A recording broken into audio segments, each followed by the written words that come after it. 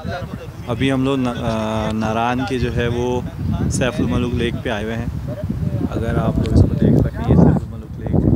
है ये ऊपर लेक है। ही और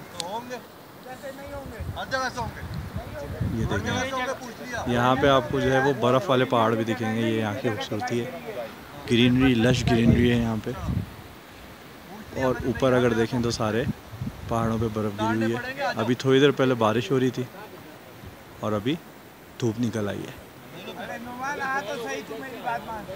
और ये है नांगा पर्वत जिसके बारे में काफ़ी सारे किस्से मशहूर हैं।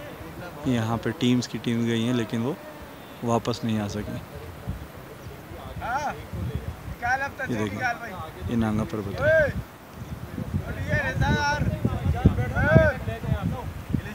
ग्रीनरी बहुत ज़्यादा है यहाँ पे और खूबसूरती भी बेनते हैं। पहाड़ों पे ग्रीनरी भी है और बर्फ़ भी पड़ी है। देख लेंगे आप तो छोटा सा झरना दिख रहा होगा पानी गिर रहा है। कहते हैं कि इसका पानी जो है बहुत शफाफ पानी अच्छा घोड़े पे पानी पार होगा? वरना पानी पानी होगा पानी बहुत गहरा और ठंडा पानी है आपको उठा के खींच के ले जाएगा बस हम लोग के निकलने का टाइम हो गया मिलते हैं अगले स्टॉप पे। अल्लाह हाफ़िज़।